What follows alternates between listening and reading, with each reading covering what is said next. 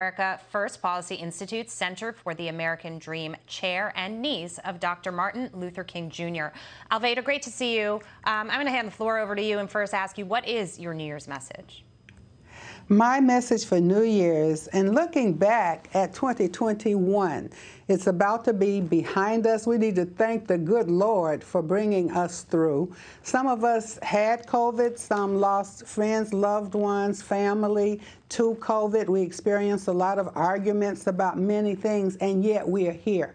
So, my message comes from my grandfather, Reverend Martin Luther King Sr., who said, Thank God for what we have left. So we pick up with what we have left and we begin to move forward into 2022. Can you imagine?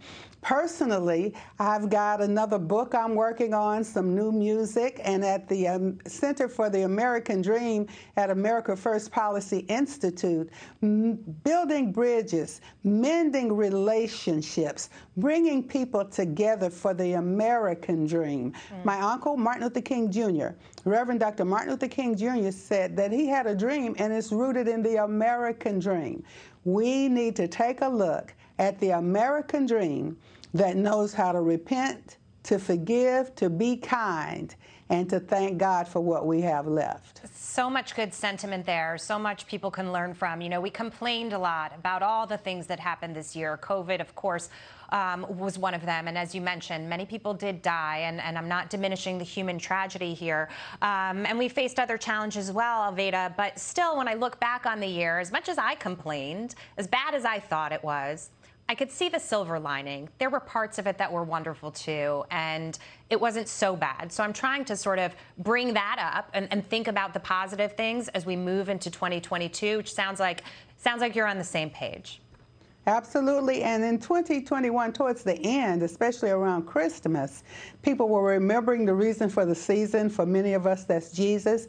And people were more generous, not with just money and gifts, but with time, spending time together thoughtfully communicating, I thought that was amazing. So that's something that we can carry with us into the new year. Let me ask you a question. One of the big um, topics this year was crime across the country. We saw, saw spikes in many major cities. Some of it was, um, you know, as a result of policies that we've seen because of the pandemic, but also, you know, lawmakers becoming um, a little bit less lax in, in enforcing policies as well. Some of the crime, I think, was probably fueled by anger as well. Your thoughts on how we can rein that in as a country?